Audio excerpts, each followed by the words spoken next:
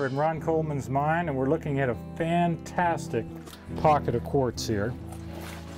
We've been, uh, Justin here has been taking some things out of here for several days.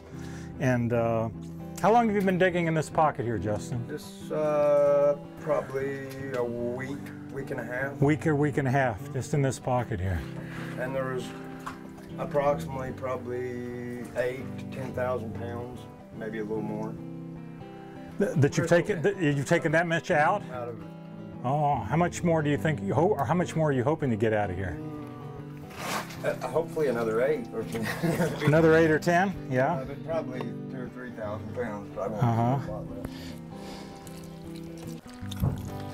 There's a lot of loose crystals just laying in this pocket. They look like they're See, Uh, terminated all- Yeah. Yeah, this is like a uh, rehealed one shard, a rehealed shard, Shard. right? Because uh, this thing here, let me just rinse this And when you start here. finding a lot of those, that normally means it's getting close. It's to get, the bottom. it's getting close to the bottom of the Yeah, pocket because they, they fall into the bottom that's of the pocket. Yeah, from earthquakes and the, Right. the chip, the broke points and stuff fall. Yeah. this is natural all the way around.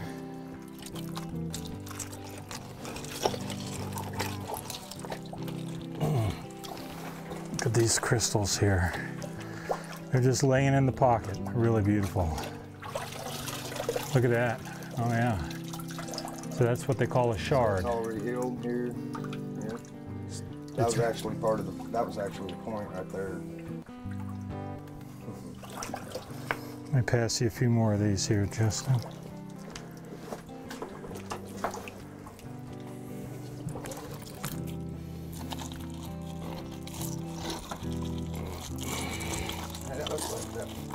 One bottom might come first. Okay.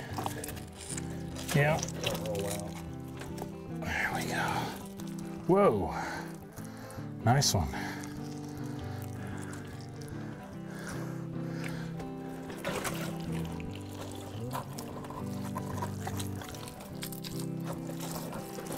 That's a blowing out. This is a big one here. Oh, wow. Killer. Look at that thing. My name is Thomas Nagin, and I'm a mineral explorer. Good. There we go. We get this sucker. All right, you got it? Okay.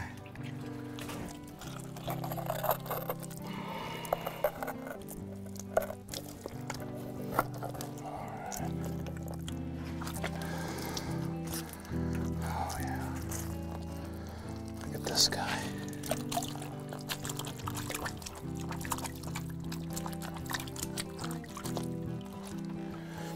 Big, beautiful, perfect points.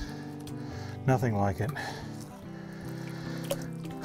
Well, Justin, thanks for showing us around here. We appreciate it. We've had a great time down here. Hoping to come back again someday soon. Let me give you this last guy here, and we're going to head up top of the mine here.